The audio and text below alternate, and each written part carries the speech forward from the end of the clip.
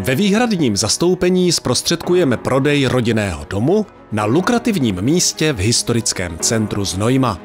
Jedná se o výbornou investiční příležitost, protože dům se nachází na velmi frekventované ulici historického centra Znojma. Jedná se o objekt, který vyžaduje zásadnější rekonstrukce.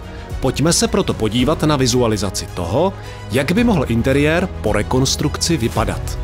Přízemí se momentálně nachází dobře prosperující provozovna družstva invalidů v pronájmu, kterou je však možno nevelkými zásahy přetvořit například v trendy kavárnu. V druhé části přízemí je možno vybudovat byt nebo apartmán ke krátkodobému či dlouhodobému pronájmu nebo k prodeji. Momentálně je také tato část pronajata. Dále se v přízemí nachází další prostor se světlíky, který je možné využít jako salónek, jenž je součástí kavárny.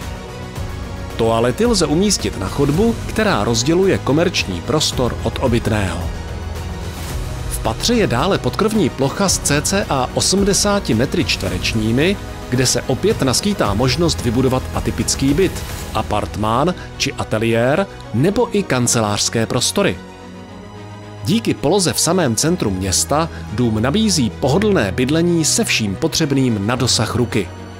V bezprostřední blízkosti funguje veškerá občanská vybavenost. Jsou zde obchody, služby, lékaři, restaurace, cukrárny, nedaleko i sportoviště a městský park, blízko jsou zastávky trolejbusů a autobusů. Dům je připojený na elektřinu, vodu a obecní kanalizaci, plynová přípojka je přivedena k domu.